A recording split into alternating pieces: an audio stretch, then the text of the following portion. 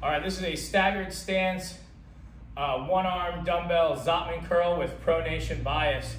So pronation bias is gonna be how you're holding the dumbbell.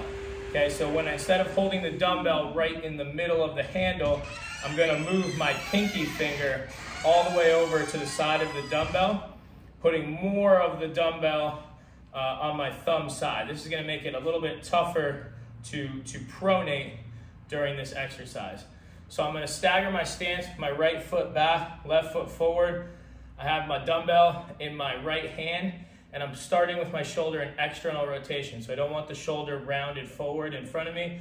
I wanna open up the shoulder so that I'm starting in a supinated position. Soft knees. I'm gonna inhale, and then as I exhale, I'm gonna curl Turn the dumbbell over into a pronated position and control it on the way down.